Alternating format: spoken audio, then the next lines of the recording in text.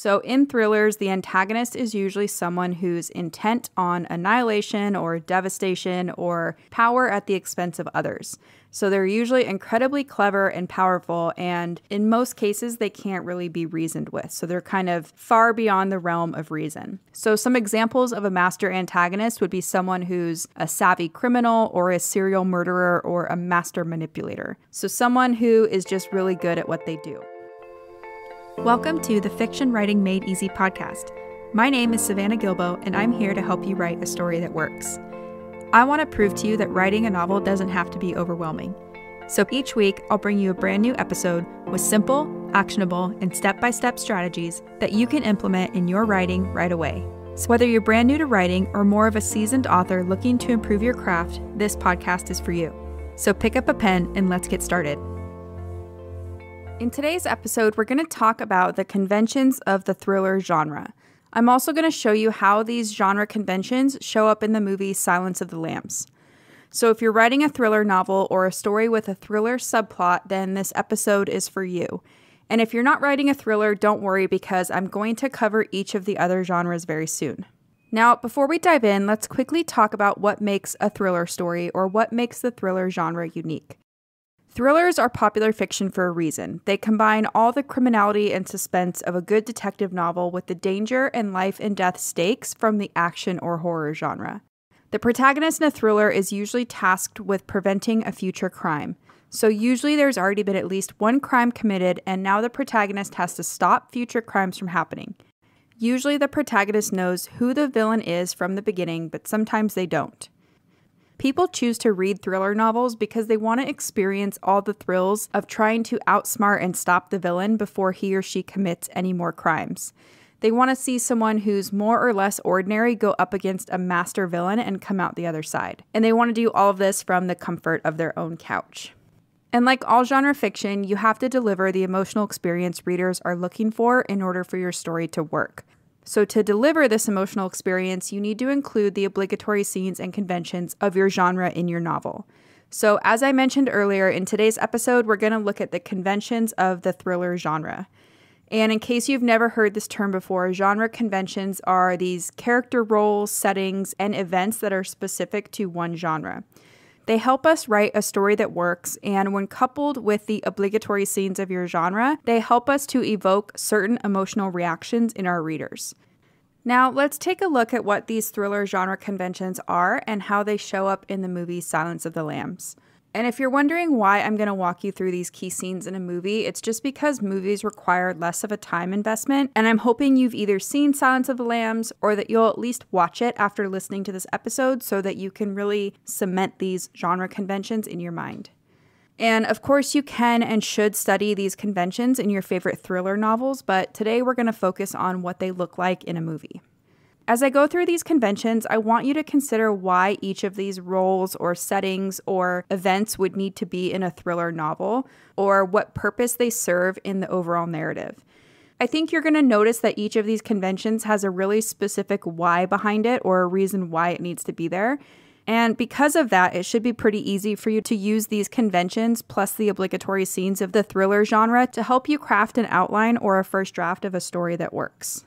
And one more quick reminder if you want to see how these key conventions show up in a few other stories, you can check out the blog post that goes along with this episode that also includes examples from Misery and Gone Girl. I'll make sure to link to that blog post in the show notes for you guys, but for now, let's dive into what the conventions of the thriller genre are.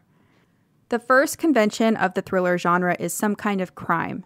And not just any crime, but a crime that indicates that there's a master villain on the loose. So, somebody who seems to really know what they're doing. And in most cases, this villain has committed other crimes before the story starts on page one, like in a serial killer thriller, for example. Usually, the serial killer has killed people before the story starts. And usually, in a thriller, the protagonist feels the threat of a future crime that the antagonist or the villain is planning on committing.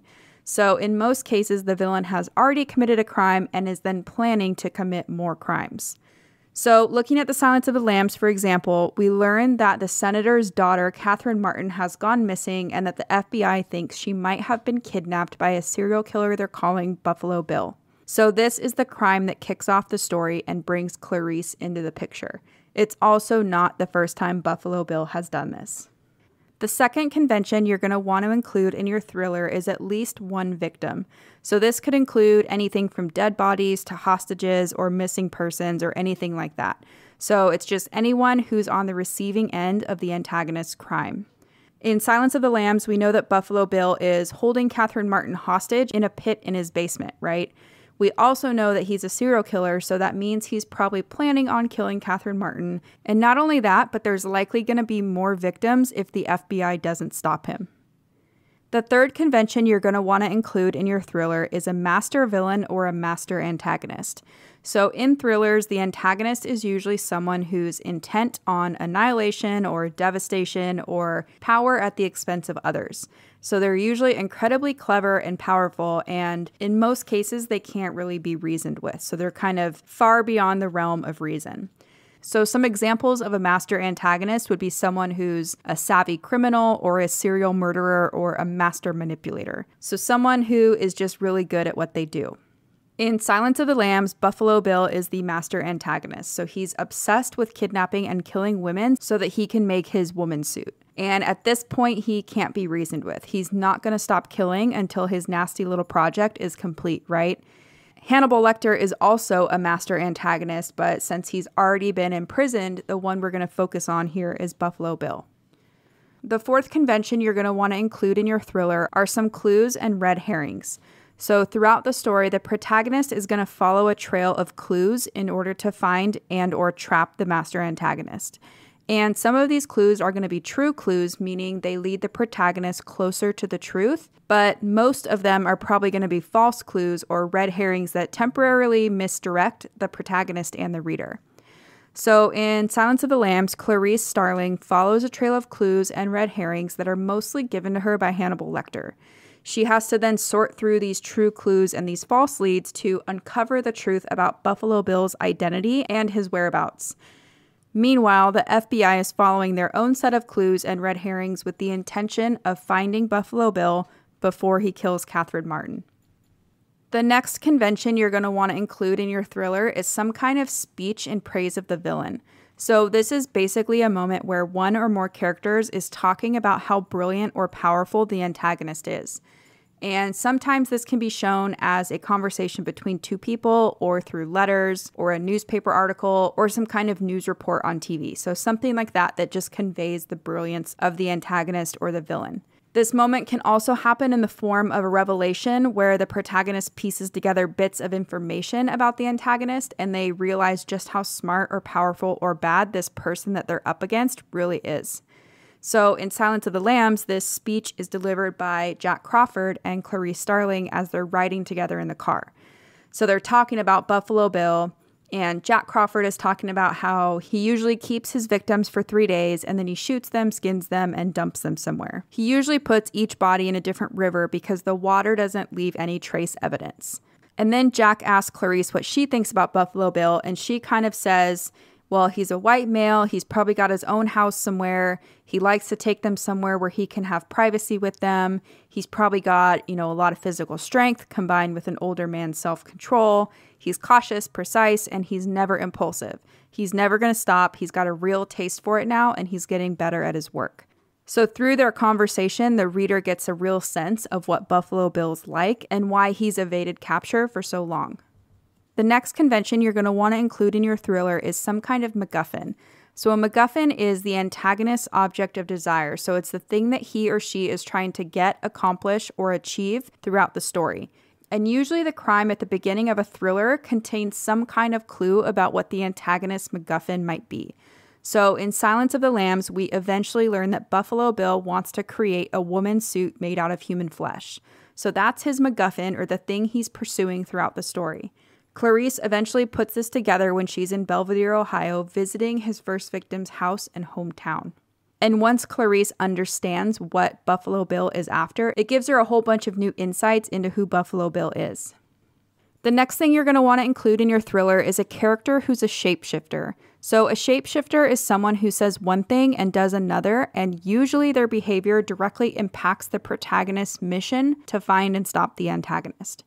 So, in Silence of the Lambs, there are a few good shapeshifters. We have Buffalo Bill, who literally wants to change his shape and become a woman.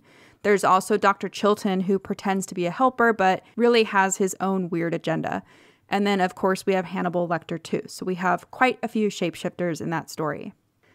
The next thing you're going to want to include in your thriller is some kind of ticking clock or deadline by which the protagonist has to figure out who the antagonist is and then stop them from doing more harm or committing more crimes. So, in Silence of the Lambs, Clarice knows that Buffalo Bill typically kills his victims within three days. That means if they don't find Catherine Martin before the three days is up, she's going to die. So, that's her deadline to find Buffalo Bill and to stop him from killing Catherine and other victims in the future. The next thing you're going to want to include in your thriller is you're going to want to have multiple lives at stake. So, the thriller genre is all about life and death stakes. Either the protagonist is going to survive or the antagonist is going to survive, but usually not both. So, if you fulfill the victim convention that we talked about earlier, you're going to have at least one life at stake, and then probably your protagonist's life is going to be at stake when he or she confronts the antagonist. So, in almost every thriller, you're going to have at least two lives at stake, sometimes even more. And that's actually one of the biggest differences between thrillers and mysteries because usually in a mystery, the protagonist's life is not at stake as they try to figure out who done it. But in a thriller, the protagonist's life is at stake as they try to figure out who's behind these crimes and or how to stop this person who's behind the crimes. So, just something to note there. In Silence of the Lambs, Catherine Martin's life is at stake, so we know she's going to die within three days if Clarice and the FBI don't find Buffalo Bill. Near the end of the story, when Clarice confronts Buffalo Bill, her life is at stake too.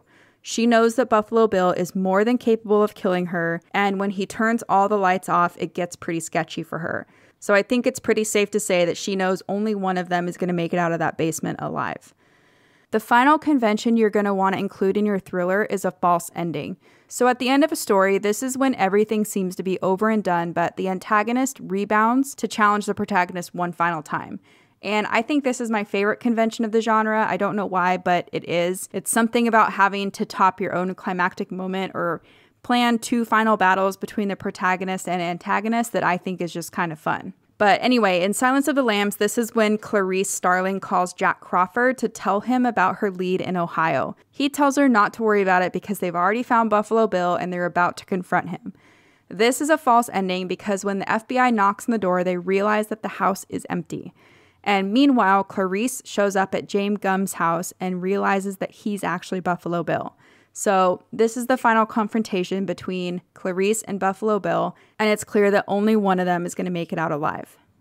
So, those are the conventions of the thriller genre, and you might be thinking, okay, yes, some of those are kind of obvious. I already knew some of those, but You'd be surprised how many drafts I see that are either missing these conventions or don't really hit on these conventions in a meaningful way.